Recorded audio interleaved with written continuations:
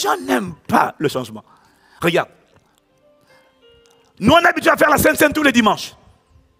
Et il y en a qui n'ont pas vu la Sainte Seine pendant deux dimanches, trois dimanches. Ça y est.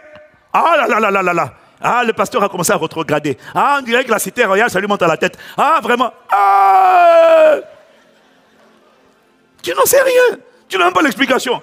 Le problème, c'est que la Sainte Seine, avec 1000 personnes, c'est pas pareil qu'avec 4000 personnes.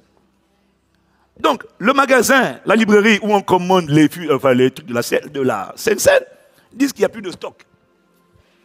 Ils n'arrivent pas à servir.